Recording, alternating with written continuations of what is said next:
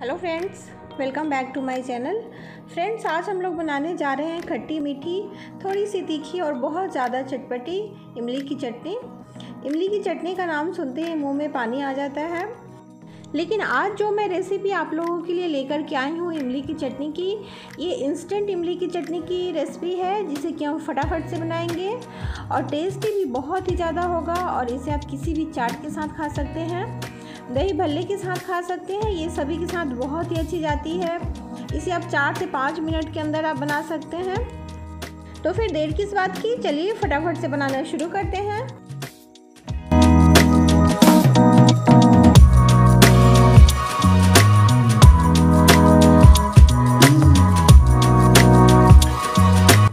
इमली की चटनी बनाने के लिए हमें एक पैन में डेढ़ कप पानी बॉईल कर लेना है। जब ये बॉईल हो जाएगा तो हम इसके अंदर डालेंगे एक कप इमली। इमली के बीज निकाल लेने हैं। आप चाहे तो मार्केट में बीज निकाले हुए इमली भी मिलते हैं, उसे भी आप ले सकते हैं। और इसे हम पानी के साथ करीब चार से पाँच मिनट तक बॉईल कर लेंगे या फिर इमली के गलने तक हम इसे बॉईल करेंगे। तो यहाँ पे इमली हमारी जो है वो अच्छी तरह से बॉईल हो चुकी है, इमली गल चुकी है। यहाँ पे आप देख सकते हैं, अब हम गैस को ऑफ़ कर देते हैं। और इसको ठंडा होने देंगे। तो यहाँ पे इमली जो है, हमारी ठंडी हो चुकी है। अब हम इसे मिक्सर ग्राइंडर में डाल के और पीस लेंगे। इसका बिल्कुल स्मूथ पेस्ट बनाना है हमें।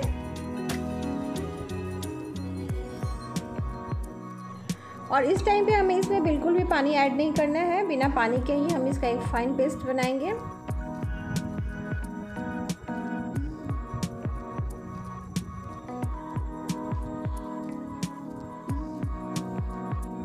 तो चलिए अब हम इसे पीस लेते हैं।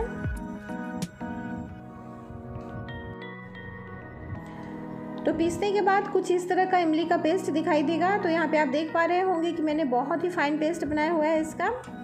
अब हम क्या करेंगे कि छन्नी की हेल्प से इसे अच्छी तरह से छान लेंगे।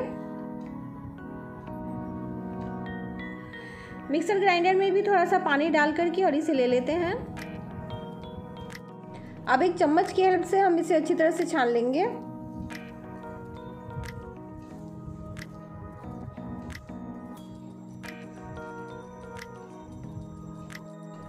तो यहाँ पे आप देख सकते हैं कि इमली जो है, उसको मैंने अच्छी तरह से छान लिया है। इसके रेसे वगैरह जो है, वो रह गए हैं छन्नी में।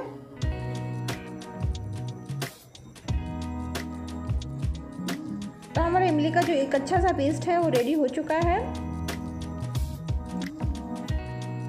आगे हम इसे पका लेते हैं। तो इसे पकाने के लिए एक छोटा चम्मच हमने घी डाला है पैन के अंदर।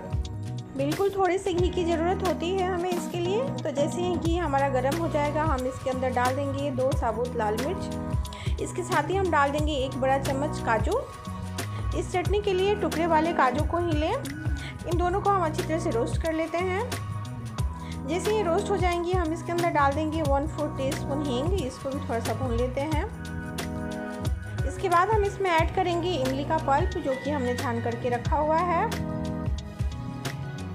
पैन में डालने से पहले इसको एक बार हम हिला लेते हैं। इन सभी को हम अच्छी तरह से मिक्स कर लेंगे।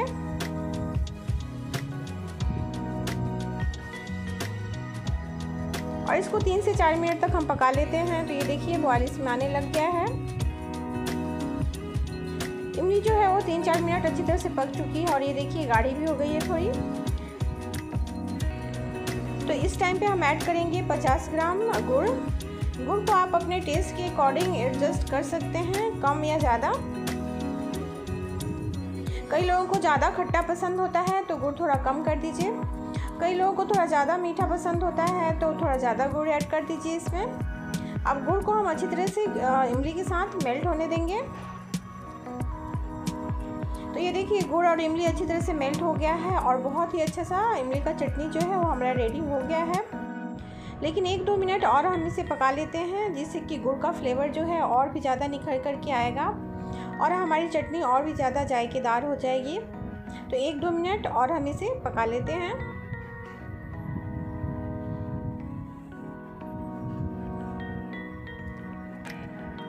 तो यहाँ पे एक दो मिनट के बाद हम सूखे मसाले ऐड करेंगे। तो यहाँ पे मैं वन फोर टी स्पून लाल मिर्च पाउडर ऐड कर रही हूँ। वन फोर टी स्पून गर्म मसाला और वन फोर टी स्पून यहाँ पे काली मिर्च हम ऐड करेंगे इसके अंदर और ये सबको मिक्स कर लेंगे और इसे एक दो मिनट के लिए पका लेंगे। एक चीज़ मैं आपको यहाँ पे बता दूँ कि इस चटनी को हमें शुरू से लेकर के लास्ट तक लो टू मीडियम फ्लेम पर ही रख के ही पकाना है। अब यहाँ पे हमारी चटनी तो रेडी हो चुकी है, लेकिन अभी तक हमने इसमें नमक नहीं डाला था। तो यहाँ पे हम नमक डाल रहे हैं अकॉर्डिंग टू टेस्ट और एक बड़ा चम्मच हम यहाँ पे डालेंगे तरबूज के बीज। इन सबको मिक्स कर लेते हैं। अब गैस के फ्लेम को हमें ऑफ़ कर देना है। तो ये देखिए, बिल्कुल गाढ़ी हो चुकी है हमारी चटनी, थोड़ी ठंडी होने के बाद और ये गाढ़ी हो जाएगी। तो ये बिल्कुल परफेक्ट इमली की चटनी जो है वो हमारी रेडी हो चुकी है। तो फ्रेंड्स आपने देखा होगा कि कितनी आसानी के साथ और बहुत ही कम टाइम में हमने बहुत ही बढ़िया जायकेदार इमली की चटनी बनाई है।